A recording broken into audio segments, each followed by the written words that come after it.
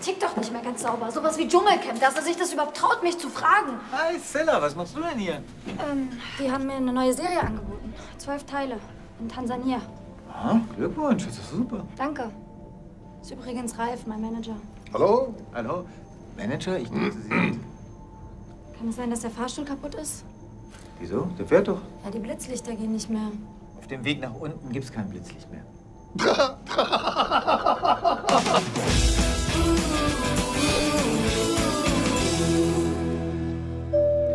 Ja, dann viel Spaß in Tansania. Ich freue mich für dich. Tschüss. Tschö. Tschüss. Mach nicht so doof. Die schaffen es einfach nicht, mich wieder in die Serie einzubauen. In meine Serie. Das ist doch noch lange kein Grund, dem Produzenten ein Glas Wasser ins Gesicht zu kippen. Doch, genau das ist es. Lass uns doch wenigstens mal hören, was die uns anbieten wollen. Auf keinen Fall.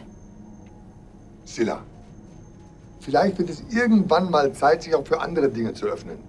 Willst du mich gerade in den Dschungel quatschen oder was? Camp Desert, das ist ja nicht der Dschungel. Ey, Pamela Anderson war doch auch schon mal im Dschungelcamp. Pamela Anderson? Hm.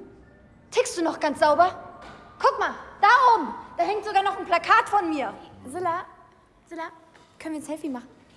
Ja, natürlich. Mit dem Plakat im Hintergrund? Klar. Cool. Was macht denn der da? Was machst du da? Warte, ich mache ich, ich häng das weg. Da kommt die Wilma wieder hin. Warum? Moment, dich kenne ich doch. Du bist doch die von der Schranke. Moment, Moment. Silla, hör auf. Silla, Silla, hör mir zu. Hör mir zu jetzt. Die Angebote, die du dir wünschst, die gibt's einfach im Moment nicht. Und wenn du weiterhin so stur und so wählerisch bleibst, dann wird es auch die Angebote, die jetzt noch da sind, bald nicht mehr geben. Was soll das heißen? Das deutsche Showbusiness. Das kann man sich etwa so vorstellen wie, mal sagen, eine typische Schulklasse, ja? Vielleicht nicht Gymnasium, aber Gesamtschule. Da gibt es die A-Promis, die Streber. Das sind die Menschen, die immer nur Einsen geschrieben haben und nie für eine gute Note den Lehrer befunden mussten. Dann gibt es die B-Promis. Das sind die Sportskanonen. Die, die in Mathe so gar nichts können, dafür aber ein anderes, unverkennbares Talent haben.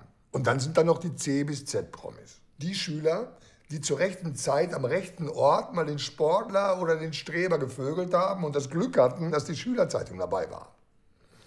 Problem dabei ist, wenn die Schule mal vorbei ist, interessiert sich die Schülerzeitung nicht mehr für dich. Was hat sie, was ich nicht hab? Sieben Jahre jünger. Keine Fußballer-Ex-Verlobte. Keine Hasenschnäuzchen-Filtervideos auf Social Media. Nicht nackig im Herrenmagazin. Und eine Menge andere richtige Karriereentscheidungen. Nix. Aber du weißt doch ganz genau, dass es darauf überhaupt nicht ankommt. Worauf dann? Dann erklär's mir. Warum bekomme ich so eine Trash-Show angeboten und sie dreht einen Film nach dem anderen? Und jetzt spielt sie auch noch in meiner Serie mit. Werde ich jemals da sein, wo sie jetzt ist? Wie erklärst du deinem Kind, dass es nicht Astronaut werden kann? Du sagst doch nicht, du, äh, gemessen an deinem IQ und deinem BMI wirst du eher Bauarbeiter oder Bäckerei-Fachverkäuferin. Du sagst doch, ja, was für eine tolle Idee. Wenn du dich ganz toll anstrengst, dann schaffst du das. Und darum lern jetzt erstmal Mathe. Und das sagst du ganz in dem Wissen, dass er oder sie Mathe nur braucht, um später den Preis von zwei Brötchen und einem kleinen Stückchen Butterkuchen ausrechnen zu können. Vielleicht eines Tages, vielleicht auch bald, aber leider nicht jetzt. Die Angebote, die du willst, die sind nicht da. Was man nicht vergessen darf, für Camp Desert bekommt Silla bestimmt 200.000, macht 40.000 für den Onkel. Da muss eine Bäckerei, Fachverkäuferin, lange für arbeiten. Und was mache ich jetzt? Ich weiß es auch noch nicht, aber lass es uns rausfinden. Stufe 1 wäre allerdings, bitte nicht alles gleich ablehnen, ja? Na, hast du dein Auto schon weggefahren? Nee, wieso? Ja, das weiß ich, weil ich lasse das jetzt abschleppen. Scheiße! Scheiße, wenn man abgeschleppt wurde, oder? Ja, Da komme ich nämlich mehr. echt? Ja? Nichts sagen. Fick dich! Arschloch! Zila, reg dich ab, wir nehmen ein Taxi. Mann, es geht mir nicht um das scheiß Auto. Ist mir doch egal. Fuck.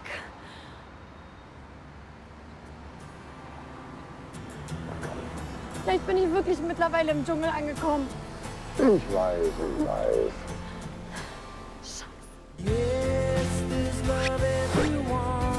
Nummer eins, die erste. Ups. Scheiße. Tut mir leid. Ist er noch dran?